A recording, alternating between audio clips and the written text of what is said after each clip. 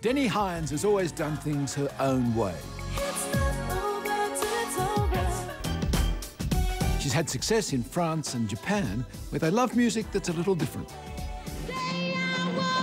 But then again, Deni's mum, Marcia Hines, was hardly the standard model. She'd been the pregnant teenage star of the musical Hair, and then Queen of Pop. Deni, welcome to Talking Heads. Why, thank you, Peter. When you go out on stage, mm. you say you go into a quiet moment. Tell us about that. Take us on stage with you. It's um, it's a moment of just please don't mess up moment, um, and it usually I talk to dead people. Um, I know that's weird, but you know, I put it this way: the living are trying to mess with me all the time. I'm yet to meet a dead person that's trying to get up all in my mix. All right, so. So who do you select? my grandmother, uh -huh. and I can't tell you what I'm thinking about when I'm singing because I'm somewhere. I don't know where I am, but I just I always go to the bathroom, have a quiet moment, talk to my relatives, and say, "Listen, I've got a gig tonight. If you're not doing anything, come down and help me not forget the words." I get the feeling that the stage is the place you most love to be. I was on a stage from utero. I was in my mother on a stage, so maybe. Oh, you were too. I see what you mean. I don't, back in the hair days. Back in mean. the hair days. So I don't. Maybe it's that, and I've inherited it. My mother and my father are singers, so I don't know. Can I say roughly how old you are? You can tell exactly because black don't crack. well, you're getting to. I am 39. I'll be 40 in September. Okay. Now that we've got that out. Oh, I need a personal trainer. Some great hairs that so. I'm not happy about. Um, I don't see them. Oh, no, no, you're not showing them. They're in the puff somewhere. Oh, they're not just random ones. I'm like, what are you doing here? Get out. Um, we all have those. Yeah, I know. I know. I don't know about this age thing. I don't know about it. I think I'm still as mad as I was when I was 20. At 40, I still play Guitar Hero. Do you, do you feel musically better than you were? Maybe by 50, the voice will really be where it's supposed to be. Well, that's, that's what I had in mind, that you have a, a voice which is naturally soul, rhythm and blues, mm. even jazz. More so than pop, maybe. I hate pop. I'm a soul girl. I am a strict soul. Pop's dirty. I don't like it. And, and people say you're pop, but I, I'm not pop. But you, was, you were. No, well, I don't think I was What pop. about the Rockmelons? Ain't No Sunshine, probably one of the biggest rhythm and blues songs. And when it on the radio, well, I'm not pop because I don't get radio play. So I'm not Does popular. that bother you? That you not don't get really. radio play? I just think that I'm in the wrong country, but it's all right. I, I say to my boyfriend, sometimes my head gets sore bashing up against that wall, but I will back it down. I will break it down.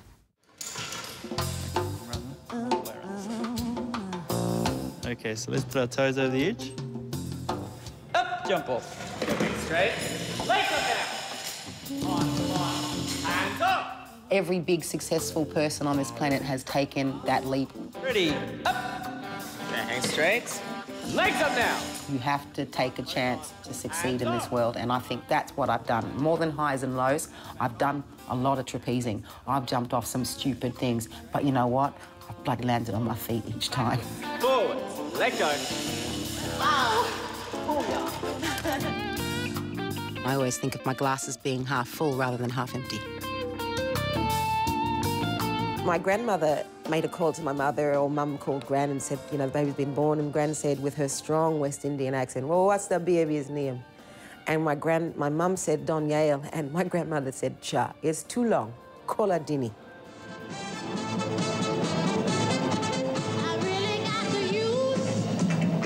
Then I went to America to live with my grandmother in Boston because mum was working in Russia at the time with Daly-Wilson Big Band. I was probably between three and five when I returned back to Australia from being in Boston. And then we lived in Maroubra Road, North Bondi, and I loved that house. This is the house that I woke up in after coming back from the States. I don't actually remember the whole journey or anything like that. I just remember this house. Um, it's probably the best house that I've ever lived in because to me, I, I don't know, I really felt that this house and I had a connection. What do you do? Do you sing or anything? Oh, guys, come on, Daddy, talk. She's gonna be a ballet dancer, aren't you? Mm -hmm. She's what? so coy. Oh, very, she... She's very quiet, childless.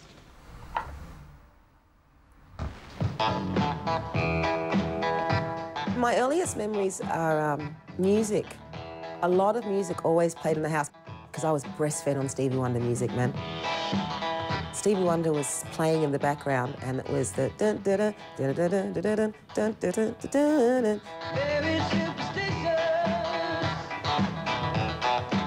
And my mum, I was moving around in between her knees, and she's like, "Don't do that! Don't you dare do that! Don't do that! You dirty old rat!" So that's my first musical memory.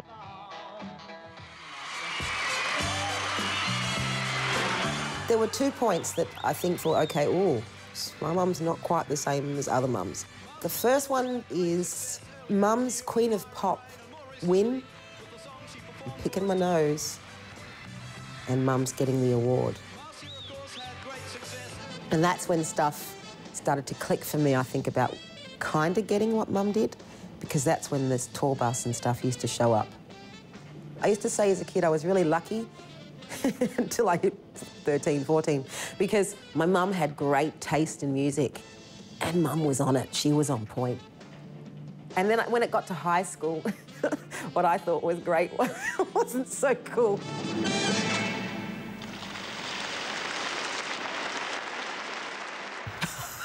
Now, your grandmother, Yes. she was quite a lady. Yes, she was. Her name was Esmeralda McPherson. Esmeralda Trefine McPherson. Trefine. Mm. Now, Es- Esmeralda uh, was brought up in Jamaica, mm-hmm. moved to Boston, mm-hmm. and it was to Boston that you went as really an infant, mm-hmm. and she looked after you. And I basically had spent so much time away from my mother that when she picked me up in the airport, I had no idea who she was. Who's that lady over there? and I wanted my grandmother, Ma! And then I slept for two days with jet lag. And then my grandma came over about six months later because mum was like, she could tell mum was having, not struggling, but it was just a bit hard being on the road with a, you know, a six year old, five year old. And so Gran's like, well, look, I'll come over and help you look after Deni. When you stepped outside, went to school, was it tough? primary school, the teacher took my mother's, got my mum to sign a piece of paper and made a stencil of it and gave her signature out to the whole school. But it was only, I just say the first two years of um, high school were the weirdest ones for people being a bit strange. I come to school on one certain, well, probably about the day before I left, in the quadrangle, quadrangle, the toilets there, Marcia and Deni Hines suck. Dude, I'm just coming to school. So yeah, I left that school. Then I got kicked out of the Catholic school that I went to. And then I went back to another public school and had a ball. So did you fight back with the bullying? How I did come to school with a pair of scissors one particular day, yes. To have to stand up against some biatch if she really wanted to go there, because I am West Indian. After all, I can fight if I have to. What about at home? How do you push the boundaries at home? I thought my mother was related to the devil when I was a kid. I thought they were like brother and sister. Because I couldn't do anything. The day that I went to school in a short skirt because it was just better because the long ones are daggy. And mum comes to school, she takes me to the classroom and she makes me change my skirt in front of the class. Holy gamoly. Hello. See what you mean. Yeah. yeah, and it worked. I never wore that short skirt again. Mum didn't know I was singing, you know. Mum didn't know that I was touring with Wa Wa Nee until um, I used to drive down to Melbourne. I'd do school Monday to Friday, and then I'd get in a car with the boys and drive down to Melbourne, do a show in Melbourne on a Saturday night, turn around on Sunday, come back home, go to school on a Monday. This is also true about modelling, isn't it? That, Yeah, that you took up modelling and she her. didn't know. Uh, I can't easily fathom that. Oh, my stuff was in Japan. How's she going to know? How did it come about? I walked into an agency with a girlfriend of mine um, who was signed to the agency, and um, they asked me if I'd like to consider being a model. I went, oh, okay. I never really thought of myself as a model. I like food. My gran knew. As long as one of you knew, that's all that matters. Ain't no sunshine when he's gone. I met the Rockmelons through Ronnie Laster and Tony Cook, who were James Brown's musicians, but I met them through the Rockmelons. And the Rockmelons had actually supported James Brown maybe five months, six months prior to that. And they had a singer called John Kenny who sang New Groove, who at that stage had acquired nodules on his vocal cords, so he couldn't actually demo any of the songs. And I got a call saying, Would you um, be able to come down and demo some stuff for us because uh, our singer's got nodules? And I said, Yes. I know, I know, I know. And I said, You know, there's a song that I think you guys should do. And I sang like a little bit of Ain't No Sunshine. And something happened where they, I think they were, they liked what they heard. And then the next thing you know, I was in the studio demoing that. Gone. was actually Triple J radio that played it the first time. And we, in my house, we had a little radio in the kitchen. And I remember I was cooking breakfast one morning and Ain't No Sunshine came on. And I remember I frantically shook the tape machine thinking, I haven't left a demo in here. Oh my God, it's on the radio for the first time. And I ran and got Gran and got Mum and stood there and listened to it for the first time. And that was a bit of a... It's, it's all right, Deni Hines. I got an ARIA for It's All Right for that single. I didn't know. I knew I would. Oh, look, thanks. And grouse. Grouse. Thanks.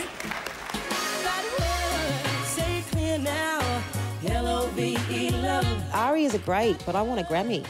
No, straight up, I do. I, I do. Four letters mean so much. That word. Well, actually, when I got my ARIA, that's probably when I said, well, you know what? Mum didn't help me get that, and she didn't help me sell 1.2 million records either. That's when I realised I've got my own musical identity. Well, that's really grouse. It is grouse. yeah, yeah, if I get my Grammy, because that's what I really come here to get, um, I will probably say something a little deeper than grouse. You fell into modelling. Yeah. In a way. I fell into singing. Yeah, what? That's what I was going to say. You fell into singing too. I wanted to be a coroner. A coroner, yes. I did work A forensic psychologist yeah. coroner. Yeah. yeah, and Mum wanted to be a mortician. Truly? Yeah. Singing coroner. I think there's a career there. Singing coroner.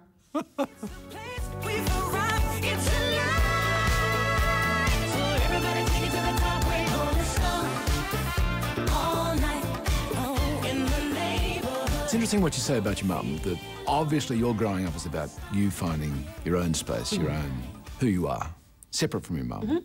I used to say at the beginning, like, if my mum was an orthodontist and I became a dentist, would there be this much interest? Well, in the dental profession, maybe. you know, like, would people care? But um, I also think it's a pretty, it's kind of special thing that, you know, for a certain amount of time in the Australian history, you've got two artists who that are related, mother and daughter, doing what they do. You've always done the full immersion stuff, like the musical scene. Uh, you get to know Michael Hutchence, not surprising, in INXS. Then you marry Kirk Pengilly, sax player, guitarist from INXS. When you when you think back on the marriage, and it was short, Yeah. a year or something. 18 months, thank you. it's, it's 1.5 times as long. Looks better on paper, 18 months, yes, you know. What What do you think you were doing? What was going on as you look back on that? Oh, uh, you know what I was doing? I was looking, I, I married a man who was four years younger than my mother, who was looking for her father. Indirect, I seriously look at that and go, what, what were you thinking, Hines? What about your dad? What about him? Well, that's Can you see the disdain on my face? What about that loser? I call him the donor. Please don't call him a dad because he's not one. at one stage as you were growing up, you thought you'd go and meet him. Well, I tell you, the long. The, I remember he called me and said he was going to come out for Christmas, but he has spoken to me three times since then, last year, and he said, "Well, you know, you call, I called you, and you said it's my birthday. I can't talk," and I went, "I'm five. I don't know you, and if I've got the choice of eating lollies or talking to a stranger on the phone, what do you think the five-year-old's going to do?" The next time I hear from him, 1998, not even him, his wife. I was in London. This woman calls me up out of nowhere and says, "Hello, I'm Debbie. I'm your um, your father's wife." And I'm just gone, "T- t- "Debbie, father, what? What?" Flash forward to last year. I get a message on MySpace from an 11-year-old who is the the son of the donor. He's got four children to four different women on three different continents.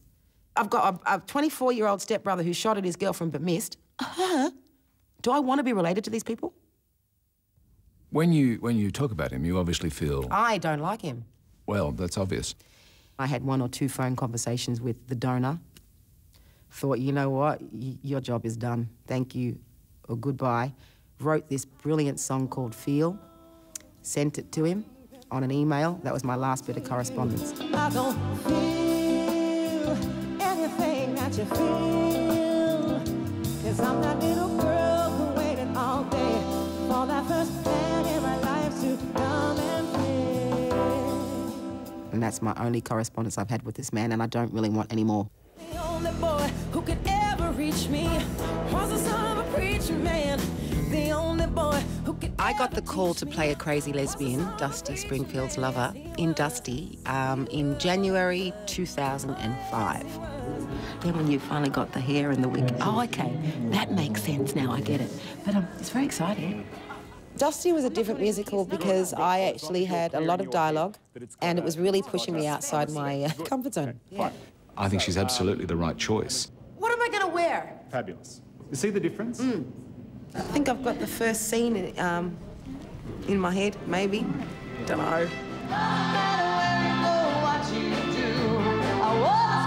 And I remember the first day Tamsin and I had to get together and kiss, and all I can say is I'm glad she came to me because there's no way I was going to her. I learned from Tammy that one must be very serious when one is with thespian, and it's hard for me to be serious. I'll be serious when I'm dead.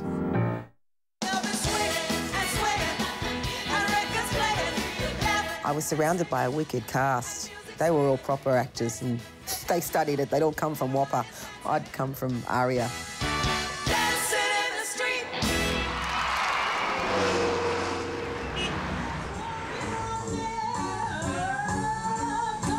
When I was doing the musical, Dusty, I started listening to all this old music from back in the day.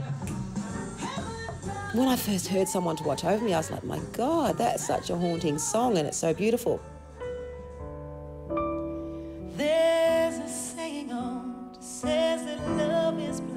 Next thing you know, I got a meeting with James Morrison. If you had sat down with me even 18 months before that and said, Jenny, you're going to do a jazz album with James Morrison, I would have laughed you out of the cafe. Because I was like, I can't sing jazz. What are you talking about? I pff, don't know any jazz songs.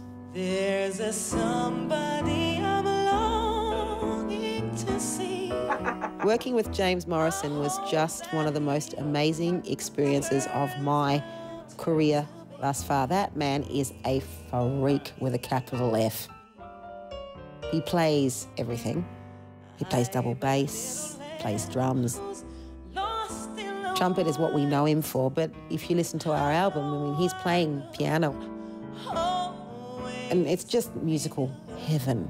Someone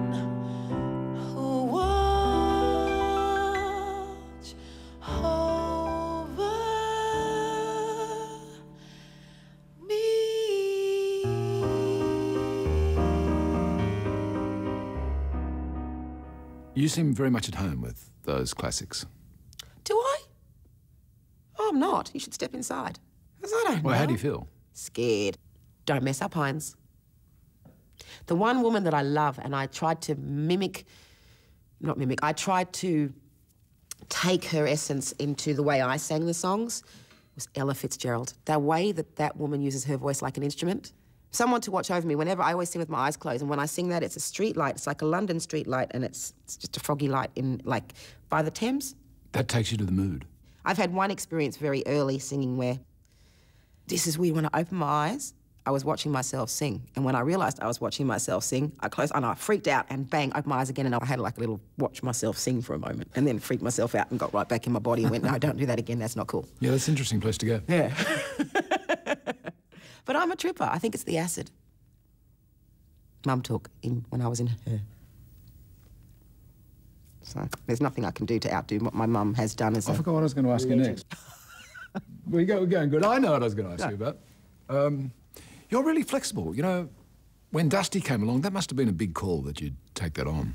I like acting. I've now done a movie. I want to do more of it. But when I did Dusty, I wanted people to be able to see me but not see me. And I had some friends come to the Melbourne shows. They rang me up incredibly annoyed because they said, You weren't on tonight. And I said, Oh, darling, yes, I was. So that was perfect for you, was it? yes. You'd, you'd taken, you'd had success with singles in France and Japan, and they're interesting musical markets. Richard Branson, actually, talking about the Virgin music industry, says that uh, Japan and France aren't in the mainstream at all. They have their own separate thing, and you've been you've been successful in both markets. Yes, I'm quite happy about that. I broke into the domestic market in Japan with, um, I wrote a t- song for a TV show, and I think it aired like every every night, like a Neighbours. But I also had the number one album in Japan. So um, Japan really quite surprised me because I don't look like them. They don't look like me, but they like me. That's cool. And it's a great market because once they got you, they've got you. The beautiful, absolutely most beautiful Deni Hines.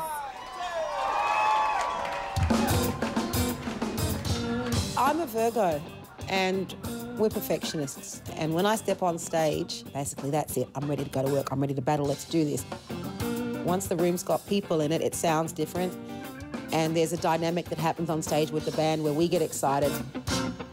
All my senses are open when I'm listening to everything that's going on. First song, first three minutes, taking everything in. By second, I'm on a home run. I'm in the. I'm singing. I'm having fun.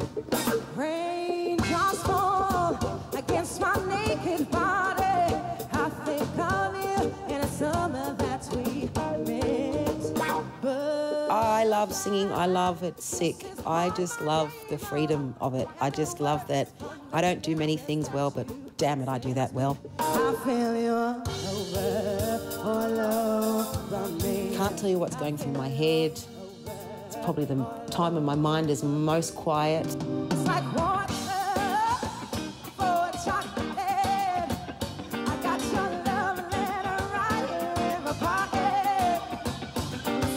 There are moments on that stage where it's just like, oh no, you didn't.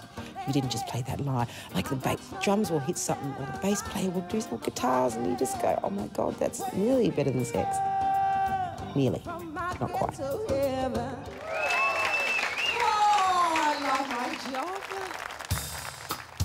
I tell ya, no, I was watching Deepak Chopra on the telly this morning, and he said something, and I was like, he's on it. When you love what you do, and you laugh a lot, it makes you stay younger. Now, this is a, this is I, I have a problem with this. Woo, in five months' time. Woo. Goodbye 30, hello 40. I do talk between songs, and sometimes it might be about the song I'm about to sing.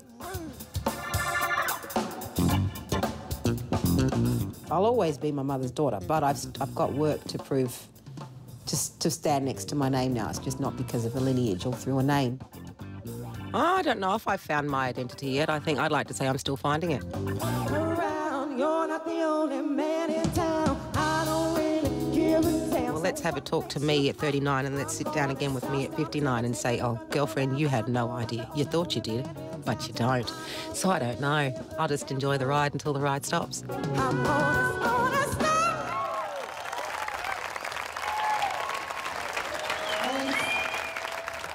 You're not just a singer, you've got a real social conscience too. Yes. And uh, among issues you have looked at and are really concerned about are homeless young men and women. Yeah. And Africa too. Africa was an You went to Nairobi. Yes. What did you find there? And, and you went with a, an organisation called Oasis Africa. hmm I am an ambassador for an organisation, Oasis, and we have a school in a place called Kibera, and it's the biggest slum in Africa, 1.2 million people. And we have a school in there with 1,260 chil- children. So they, they introduce you into school, you have to sing and dance, and they sing to you, well, education, this is, it's just so sweet. And I ended up coming home, falling in love with this boy, and I'm sponsoring him. Interesting things about you and your values. I mean, you had a run in with the RSPCA. Oh, huge. I went and did this thing for the RSPCA. You're a vegetarian. Yes. They had dead cow on the table. But they also had a woman talking about how she went to the RSPCA, RSPCA and she got her pet cow and he was just so lovely and her life had changed. This is for the animals. Don't be saying we're here to save them and then yamming down a cow at the next moment, because that's not right. Be vegetarian for two hours. It's not going to kill you. What are you going to do in the next few years? Go postal. No, I don't know. I don't know. you you want to go on learning, of course. Yeah. That's what life is really, about, That's really important to you. Mm. So, so how do you go?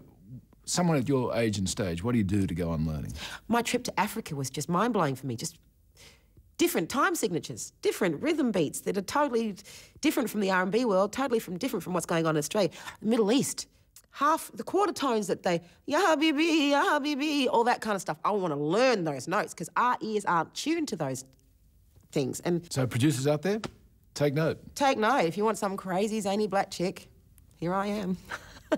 It's been great talking to you. Thank you. You're a lovely man. You are going to go far. We'll see about that. Thanks, man. See ya. You're gorgeous. Thank you. oh, sorry, bit of leg ABC, sorry.